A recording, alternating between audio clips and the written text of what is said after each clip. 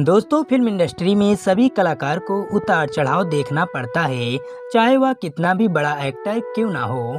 लेकिन एक समय ऐसा भी आता है, जब उसकी सभी फ़िल्में हिट होने लगती हैं। लेकिन कई ऐसे भी एक्टर होते हैं, जो सालों भर एक हिट फ़िल्म के लिए तरसते रहते हैं। वहीं कई ऐसे भी एक्टर हैं, जो एक ही साल में ब्लॉकबस्टर फ़िल्म भी कर जाते हैं। आज हम ऐसे ही दस एक्टर के बारे में जानेंगे, जो एक साल के अंदर एक नहीं, इससे कहीं ज़्यादा ब्लॉकबस्टर फ़िल्में दी हैं। दोस्तों वीडियो शुरू करने से पहले आप सबसे एक ही रिक्वेस्ट है, आपने हमारे चैनल को सब्सक्राइब नहीं किया तो ज़रूर करें। नंबर एक पर हैं बॉलीवुड के handsome hero Salman Khan ji. Hindi cinema में इनका एक तरफा राज रहा है। इनकी बराबरी किसी और एक्टर से नहीं की जा सकती। इनको भी अपनी फिल्मी करियर में उतार चढ़ाव देखना पड़ा है। वैसे सलमान खान कई ब्लॉकबस्टर फ़िल्में दी हैं, लेकिन वर्ष 2015 में इनकी दो फ़िल्में ब्लॉकबस्टर हुई थी। पहली थी प्रेम रतन धन पायो वैसे तो सलमान भाई की फ़िल्म एक्शन और मार धार वाली होती है, लेकिन यह एक रोमांटिक फ़िल्म है, जिसमें सलमान खान के साथ सोनम कपूर और नील नितिन मुकेश ने एक्टिंग की है। लगभग 180 करोड़ के बजट में यह फ़िल्म बनाई गई थी और वर्ल्ड वाइड से लगभग 406 करोड़ की कमाई की, जिसकी वजह से यह फ़िल्म ब्लॉकबस्टर हुई थी। दूसरी फ़िल्म थी बजरंगी भाईजान। पाकिस्तान के ऊपर फिल्माई गई इस फ़िल्म को पब्लिक से बहुत प्यार मिला। हालाँकि इस फ़िल्म के ज़रिए दोनों देशों के बीच भाईचारा को दिखाया गया है। सलमान खान के साथ फ़िल्म में करीना कपूर और नवाजुद्दीन सिद्दीकी ने एक्टिंग की है, जहाँ फ़िल्म का बजट लगभग 90 करोड़ था और कमाई हुई थी करीब नौ सौ उनहत्तर करोड़ की, और यह फ़िल्म से ब्लॉकबस्टर नहीं हुई थी, बल्कि ऑल टाइम ब्लॉकबस्टर हुई। दोस्तों, नंबर दो पर हैं बॉलीवुड के बादशाह शाहरुख खान। ये भी किसी से पीछे कहाँ रहने वाले हैं? फिर चाहे हिट फ़िल्म की बात हो या ब्लॉकबस्टर फ़िल्म की, इनकी भी पिछले कई सालों से फ़िल्में फ्लॉप हो रही थी। लेकिन इस साल की फ़िल्म पठान ने एक बार फिर से शाहरुख खान के करियर को उठा दिया है। शाहरुख खान ने वर्ष उन्नीस सौ पंचानवे में कुल सात फ़िल्में दी थी, जिसमें से इनकी दो फ़िल्में ब्लॉकबस्टर हुई थी। पहली थी करण अर्जुन, जिसमें शाहरुख खान के साथ सलमान खान, अमरीश पुरी, काजोल और ममता कुलकर्णी थी। लगभग छह करोड़ की बजट में यह फ़िल्म बनी थी। इस फ़िल्म ने तिरालीस करोड़ का बिज़नेस किया था और यह फ़िल्म ब्लॉकबस्टर हुई थी। दूसरी फ़िल्म है दोस्तों दिलवाले दुल्हनिया ले जाएँगे, जो आज भी मुंबई के एक सिनेमा घर में चल रही है। यह शाहरुख खान के कैरियर की सबसे बड़ी फ़िल्म है, जिसमें शाहरुख खान के साथ काजोल और अमरीश पुरी जी हैं। लगभग चार करोड़ के बजट में यह फ़िल्म बनाई गई और फ़िल्म ने पूरे वर्ल्ड वाइड से सौ करोड़ से ज़्यादा की कमाई की, जिसके चलते यह फ़िल्म ऑल टाइम ब्लॉकबस्टर हुई थी।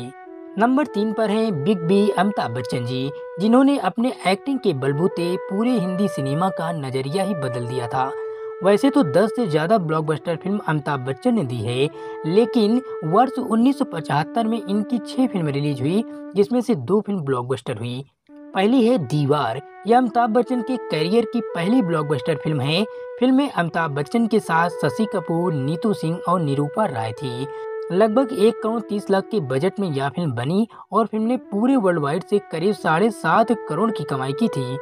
दूसरी फ़िल्म है सोले, जो हिंदी सिनेमा की सबसे ज़्यादा देखी जाने वाली और पसंद की जाने वाली फ़िल्म है। इसे ऑल टाइम ब्लॉकबस्टर होने से कोई रोक नहीं पाया। अमिताभ बच्चन, धर्मेंद्र, हेमा मालिनी जया बावदरी अमजद खान और संजीव कुमार ने क्या कमाल का अभिनय किया है? करीब तीन करोड़ के बजट में यह फ़िल्म बनाई गई थी और फ़िल्म ने उस टाइम पर पूरे वर्ल्ड वाइड से 50 करोड़ की ताबड़तोड़ कमाई की थी। नंबर चार पर हैं दोस्तों धर्मेंद्र पाजी। ही मैन के नाम से मशहूर धर्मेंद्र अपनी दमदार डायलॉग के लिए मशहूर हैं। दोस्तों वर्ष 1975 में धर्मेंद्र की 10 फ़िल्में रिलीज़ हुई, जिसमें से दो फ़िल्म ब्लॉकबस्टर हुई। पहली फ़िल्म है प्रतिज्ञा।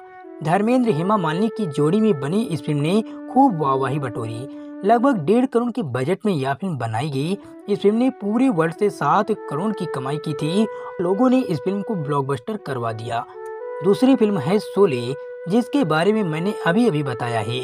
इस फ़िल्म में मेन रोल धर्मेंद्र जी का है। फ़िल्म के लास्ट में अमिताभ बच्चन जी मर जाते हैं, फिर विलन को मारने का काम धर्मेंद्र ही करते हैं। नंबर पाँच पे हैं राजेश खन्ना जी। जिन्होंने अपने टाइम पर दनादन हिट और ब्लॉकबस्टर फ़िल्म दी, लेकिन वर्ष उन्नीस सौ उनहत्तर में इनकी पाँच फ़िल्में रिलीज़ हुई, जिनमें से इनकी दो फ़िल्म ब्लॉकबस्टर हुई।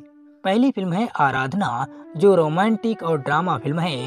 राजेश खन्ना और शर्मिला टैगोर के एक्टिंग में यह फ़िल्म बनी। लगभग 80 करोड़ के बजट में बनी इस फ़िल्म ने पूरे वर्ल्ड से सात करोड़ की कमाई कर डाली, जिससे फ़िल्म ब्लॉकबस्टर बन गई। दूसरी फ़िल्म है दो रास्ते, जिसमें एक्टिंग की है राजेश खन्ना, मुमताज़, बलराज सानी और प्रेम चोपड़ा। लगभग एक करोड़ के बजट में बनी इस फ़िल्म ने पूरे वर्ल्ड से साढ़े छह करोड़ की कमाई की और फ़िल्म ब्लॉकबस्टर बन गई। नंबर छह पर हैं दिलीप कुमार जी, जो इंडिया के शायद पहले मेगा स्टार हैं। लगभग भारत के आज़ादी के पहले से फ़िल्मों में एक्टिंग कर रहे हैं, लेकिन वर्ष 1960 में इनकी दो फ़िल्में रिलीज़ हुई और दोनों ब्लॉकबस्टर हुई। पहली थी कोहिनूर जो एक्शन और एडवेंचर से भरपूर फ़िल्म थी, फ़िल्म के मुख्य स्टार थे दिलीप कुमार, मीना कुमारी और लीला चिटनीस। लगभग 70 लाख के बजट में बनी इस फ़िल्म ने पूरे वर्ल्ड से तीन करोड़ की कमाई की थी। दूसरी फ़िल्म थी मुगल आज़म, जो मुगल साम्राज्य के ऊपर फिल्माई गई थी, जिसके गाने काफ़ी हिट हुए। लगभग 60 लाख के बजट में बनी इस फ़िल्म ने 11 करोड़ की धुआंधार कमाई की, और यह फ़िल्म ब्लॉकबस्टर नहीं ऑल टाइम ब्लॉकबस्टर हुई। नंबर सात पे हैं ऋषि कपूर जी। पूरे कपूर खानदान में कई सुपरस्टार पैदा हुए हैं, लेकिन ऋषि कपूर जी किसी से कम नहीं थे। क्या अदाकारी करते थे? फ़िलहाल आज हमारे बीच ये नहीं है। वर्ष 1977 में इनकी चार फ़िल्में रिलीज़ हुई थी, जिसमें से दो फ़िल्म ब्लॉकबस्टर हुई। पहली है, हम किसी से कम नहीं, इसी नाम से एक और फ़िल्म बन चुकी है। लेकिन यह फ़िल्म जब बनाई गई थी तो इसके मुख्य किरदार में थे ऋषि कपूर तारिक खान और काजल किरण उस समय इस फ़िल्म का बजट करीब एक करोड़ नब्बे लाख का था और फ़िल्म ने पूरे वर्ल्ड वाइड से आठ करोड़ पचास लाख की कमाई कर ली थी। दूसरी फ़िल्म थी अमर अकबर एंथनी। ऋषि कपूर के साथ अमिताभ बच्चन, विनोद खन्ना थे। लगभग एक करोड़ के बजट में बनी इस फ़िल्म ने पूरे वर्ल्ड से करीब पंद्रह करोड़ पचास लाख की रिकॉर्ड तोड़ कमाई की थी। नंबर आठ पर हैं रणवीर सिंह।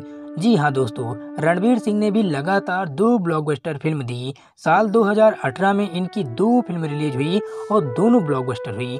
पहली है पद्मावत, जो दीपिका पादुकोण रणवीर सिंह शाहिद कपूर के जोड़ी में बनी फ़िल्म है, जो भारत के इतिहास पर बनी फ़िल्म है। लगभग 215 करोड़ के हाई बजट में बनी इस फ़िल्म ने पूरे वर्ल्ड से पाँच करोड़ पचासी लाख की कमाई की थी। दूसरी फ़िल्म है सिम्बा जिसके मुख्य कलाकार हैं रणवीर सिंह, सारा अली खान। लगभग 90 करोड़ के बजट में बनी इस फ़िल्म ने पूरे वर्ल्ड वाइड से 390 करोड़ की रिकॉर्ड तोड़ कमाई की और यह फ़िल्म ब्लॉकबस्टर हुई। नंबर नौ पे हैं जैकी श्रॉफ लगभग चार दशक से हिंदी सिनेमा में जय की श्राफ काम कर रहे हैं और ढाई सौ से ज़्यादा फ़िल्में भी दे चुके हैं। साल उन्नीस सौ नवासी में जय की श्राफ की नौ फ़िल्म रिलीज़ हुई।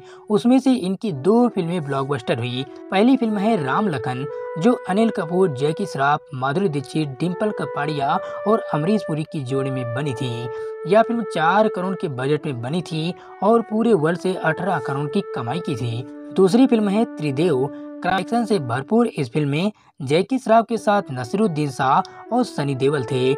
लगभग दो करोड़ सत्तानवे लाख के बजट में बनी इस फ़िल्म ने वर्ल्ड वाइड से चौदह करोड़ की कमाई की थी। नंबर दस पर हैं ऋतिक रोशन, जो बॉलीवुड के सबसे हैंडसम हीरो हैं।